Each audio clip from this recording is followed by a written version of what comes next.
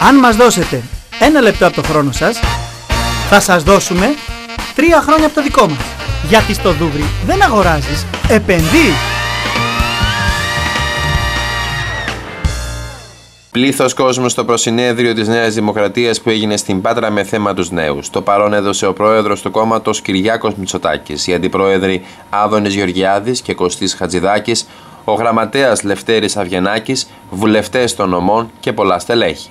Την εναρκτήρια ομιλία έκανε ο Κωστής Χατζηδάκης, ο οποίος μίλησε για τους στόχους που έχει η Νέα Δημοκρατία σε σχέση με την παιδεία, εξήρε το ζήτημα της αριστείας και των πρότυπων σχολείων και κατηγόρησε τον ΣΥΡΙΖΑ για την πολιτική τους σε αυτόν τον τομέα.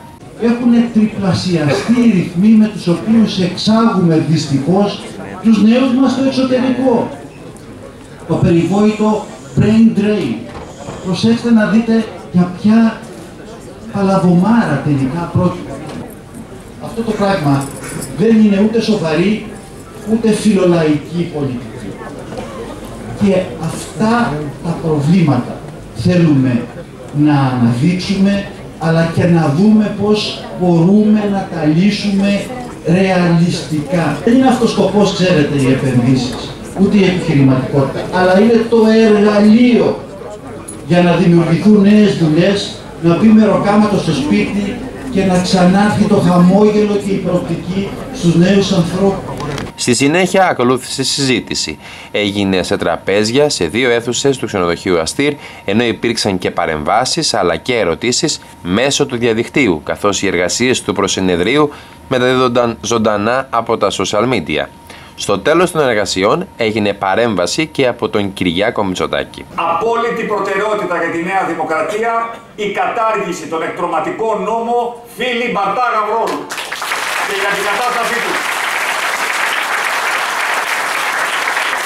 Από ένα σύγχρονο πλαίσιο που θα δίνει στα πανεπιστήμια μεγαλύτερη αυτονομία, μεγαλύτερη ευελιξία, μεγαλύτερη δυνατότητα να ρυθμίσουν τα του οίκου τους ακούστηκε από κάποιον ομιλητή και ήταν πολύ σωστή η παρατήρηση ότι τα πανεπιστήμια δεν έχουν σήμερα καν τη δυνατότητα να αξιοποιήσουν τα σημαντικά περιουσιακά στοιχεία τα οποία διαθέτουν.